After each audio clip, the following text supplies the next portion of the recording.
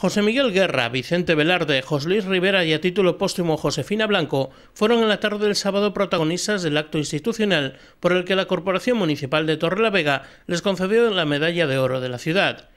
Ildefonso Calderón, alcalde de Torrelavega, dio la bienvenida a los asistentes al acto que ocupaban el Salón de Plenos Municipal y el exterior del ayuntamiento siguiéndolo por una pantalla gigante.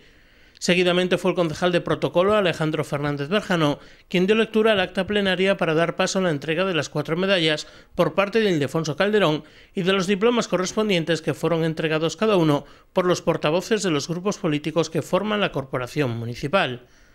Seguidamente fue Rosa Cabezas, miembro del grupo de opinión Carcus, quien hizo una semblanza de cada uno de los galardonados y quien dio paso de nuevo a Ildefonso Calderón, quien puso fin al acto protocolario